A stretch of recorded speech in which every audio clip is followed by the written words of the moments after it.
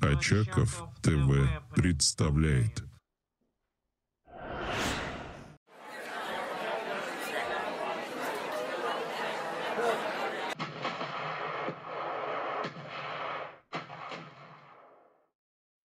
позорит фамилию, здравия желаю своих родителей. Что хотели обсудить со случайным собеседником? Ну, о, вой- о войне говорим. С какой целью о войне говорите? Хотите, чтобы она продолжалась или хотите, чтобы она прекратилась? Нет, хотелось бы, чтобы прекратилось. Что вы готовы сделать для того, чтобы она прекратилась? Что мы готовы сделать? Готовы выгнать всех захватчиков с украинских земель и потом, э, ну, сесть за стол переговоров, договориться о репарациях. Сколько лет и сколько миллиардов или триллионов долларов будет Россия платить? Ясно. Почему не выгоняете? Как это не? Еще как выгоняем? Еще как выгоняем? И из Курской области выгоняем, и из Белгородской выгоняем. Все впереди. Да. Все впереди. вам У вас же вторая нужно- армия мира, правильно? у нас да. Вторая Так армия в Украине у вас. Вы из Курской области не можете Курскую область освободить свою. Не можем. Без приказа не можем. А, без приказа. А приказа не было, да, ее освобождать? Пока не было. Ага. А почему не было, как вы думаете? А, ну, наверное, э, в силу того, что там нет укрепрайонов, хотят Мгм. туда втянуть вот эти подразделения украинские. Так. В связи с тем, что нет укрепрайонов, не было приказа освобождать. Поэтому, То есть пока а, не будут появятся укрепрайоны, а приказа освобождать не будет. То есть вся Курская область перейдет под контроль Украины скоро, правильно я понял? А, Ну, я Думаете, будет приказ всю, Укра- всю Курскую область оставить, да? Думаете так? Нет, я же у вас спрашиваю. Вы же сказали, приказа не было освобождать Курскую область. Не, не было пока приказа. Пока а, допускают втягивание а, вооруженных сил Украины на эту необорудованную к защите территорию. Как думаете, где они там будут прятаться, ваши вояки? А уже окапываются, Окапываются? да. Слушай, а вот под Авдеевкой бетонировались, им не помогло. Да, да, конечно. э, Был Бахмут, была Авдеевка, был Мариуполь. Это те города, которые вы с помощью бомб авиационных, которые, Да. к сожалению, на сегодняшний день Украина ну, не очень может противостоять. Вы просто сносите полностью, полностью все укрепрайоны, там не остается Ага. ничего живого, и на руины заходите, и б- потеряв при этом много десятков тысяч своих орков, бьете себя в грудь и Ага. кричите, какие мы победители, один поселок захватили за три года, блин. Ну и как вы думаете, вот они там сильно окопаются, если даже бетон им не помог под Авдеевкой?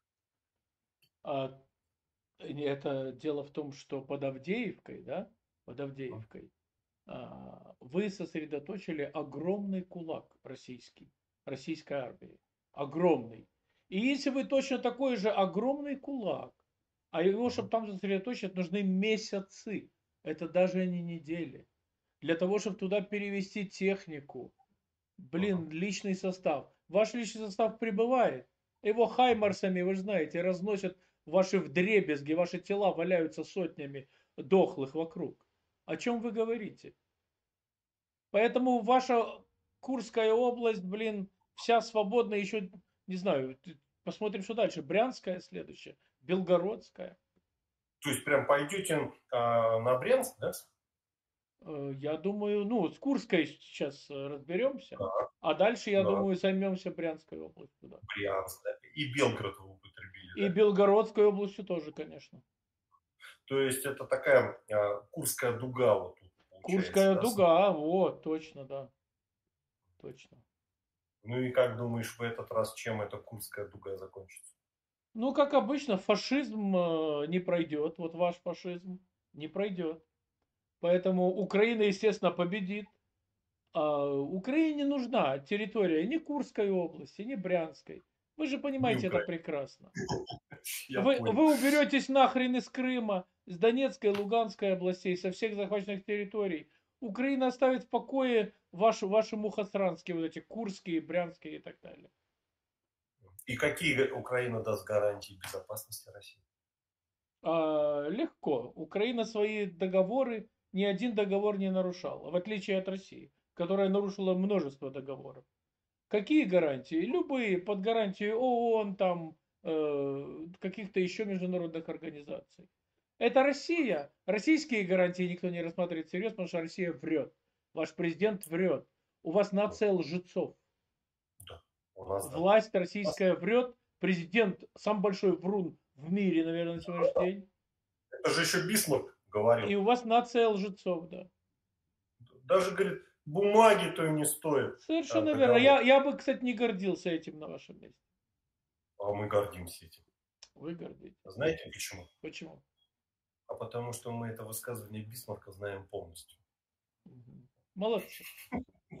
Я рад вас. Изучайте, изучайте Бисмарка, а главное, изучайте карту э, Курской области сейчас. Понимаете? Задача какая у Украины? Не захват ваших территорий. Ваши мухосранские нахрен никому не нужны. А то, чтобы вы отстали сейчас с Восточного фронта, да, чтобы вы убрались нахрен, Украина заберет свои Донецкую и Луганские области, когда вы перекинете, перекинете всех своих орков сюда, к Курску поближе. Всех. Всех. Вот, да. И вот тогда все, понимаете, восстановится статус-кво. Как вы думаете, как, а как скоро, вы сказали, не дают команду вашей власти, а как скоро они дадут команду освободить Курскую область? А, я думаю, будет дан приказ освободить Сумскую и Черниговскую. А, так и хотели же. Вы же начали подтягивать силы к Сумской, а вас опередили украинские войска и вошли в Курскую, прикиньте. Вот так бывает. Есть есть цель э, двигаться в направлении угрозы. Ага, ага. И как, как вы за три года далеко продвинулись? Ну, четыре области. А, четыре области, да вы что? За три года? Донецкая и Луганская были захвачены еще до того. Я говорю вот сейчас, за последнее широкомасштабное вторжение.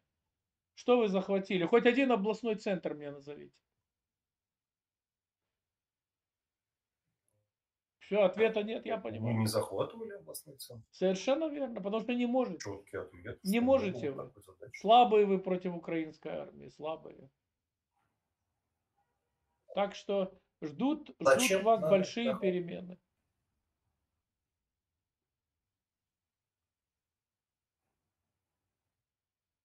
А Украину не будет перемены ждать? Украину ждут позитивные перемены, конечно. И ждали, и ждут, и будут ждать, конечно. А ваша, а ваша, смотрите, вот вы из какого города?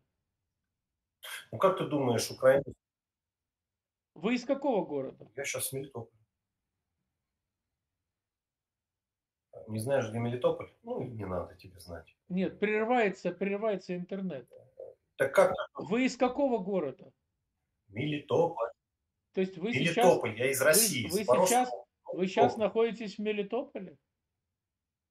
Да. Зачем вы врете? Вы находитесь сейчас в Тольятти. Это у меня там сервер находится. А, сервер, ага. А сами вы в Мелитополе, да? А что вы делаете в Мелитополе, можно узнать? юристом работаю. А, вы юрист? Нифига себе. Слушайте, Я неужели... корпоратив. Бизнес, бизнес. А, вы танцу... тан- танцуете на корпоративах и подпеваете, наверное, да?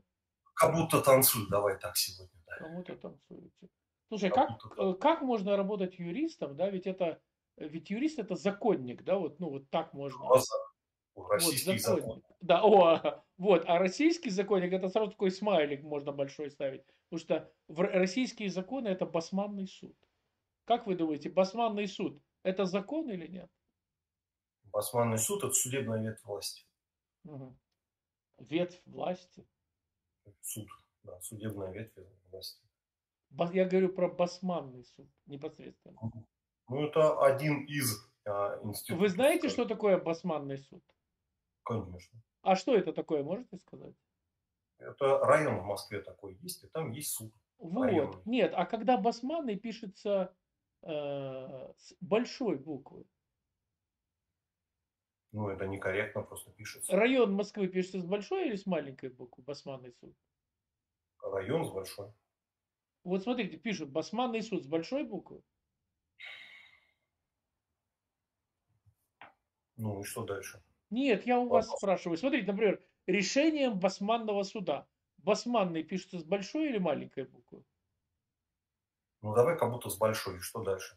А почему с большой? Ну пускай будет большой. А что это меняет? Нет, я вас... Да, а, вы не знаете русский язык? Ну давай как будто не знаю. И что дальше? Решением Басманного суда с какой буквы пишет? А С двумя а, буквами большими. Первая буква П большая или маленькая? Давай как будто большая. А почему как будто? Ну, я твою модель хочу логическую понять. Ага. Из уважения к своему Ну понятно, в общем, ты в русском языке не силен. Давай как будто вообще не знаю. Хорошо, давай, забудь про это, э, про какую букву. Смотри, э, Басманный суд, вернем, что такое Басманный суд? Басманный суд давно уже, когда говорят Басманный суд, уже мало кто вспоминает, что это суд района Басманного Москвы. А у кого, у, у всех сразу какая ассоциация идет? У меня в том числе, кстати. Это, это ваше отсутствие вашего правосудия. Телефонное право. Вот это и есть Басманный суд. Это давно уже стало нарицательным названием. Понимаете, не собственным, а нарицательным. Так вот, когда говорят про российское правосудие, говорят, что у вас царит басманное правосудие. То есть, то есть отсутствие правосудия. И вы, как юрист, вот вам не стыдно э, вот поддерживать вот, вот эту вот дрянь всю? Э, э, куда ты завис? Товарищ майор. Товарищ майор, ну куда ты, а? Товарищ майор. Жалко, кстати, довольно интересный собеседник, вы знаете. Ну, по крайней мере, хоть, ну, спокойно говорит, как-то дает, слушает, да. Жалко, что он завис, но долго мы тоже ждать не можем, он так может висеть, висеть еще 10 минут, терять время мы не будем. Ну, вы знаете, в общем-то, мне кажется, э, о, все, он э, прервалось таки. А, Я думаю, что мы все с вами уловили суть этого басманного юриста. А мы и так и назовем и ролик. Басманный юрист. Ролик будет называться Басманный юрист. Друзья, а мы не забываем с вами подписываться на все мои каналы. Лайк, колокольчик обязательно.